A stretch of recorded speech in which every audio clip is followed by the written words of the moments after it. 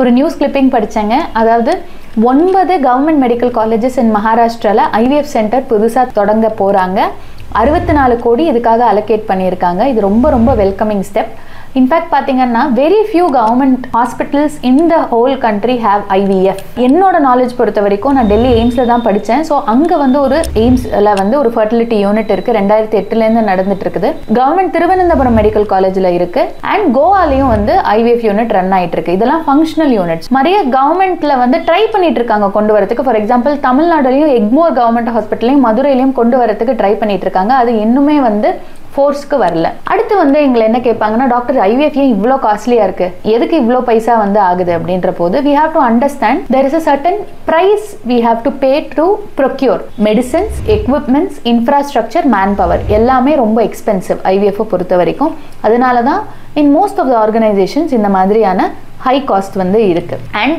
what you have to importantly do is when you find out ஒரு doctor or hospital நீங்கள் போகும்போது அவங்க pricing கரெக்டாக சொல்கிறாங்களா டிரான்ஸ்பரண்ட்டாக இருக்காங்களா both with your results and with your pricing any hit and costs so டோட்டலாக வந்து உங்களுக்கு ஒன் லேக் அப்படின்ற மாதிரி சொல்லிட்டு அட் அட் த எண்ட் எனக்கு பில் வந்து த்ரீ லேக்ஸ் ஆகுது அப்படின்ற மாதிரி சொல்லும்போது நீங்கள் வந்து உங்களோட பிரேக்கப்பை நீங்கள் கேட்கணும். எனக்கு எவ்வளோ ப்ரொசீஜருக்கான சார்ஜஸ் எவ்வளோ வந்து இன்ஜெக்ஷனுக்கான சார்ஜஸ் ஃப்ரீசிங்க்கான சார்ஜஸ் பிளாஸ்டோசிஸ் கல்ச்சருக்கான சார்ஜஸ் தாயிங்க்கான சார்ஜஸ் இதெல்லாம் நீங்கள் கேட்டு தெரிஞ்சுக்க வேண்டியது உங்களோட கடமை அண்ட் உங்களோட டாக்டரோட கடமையும் தான்.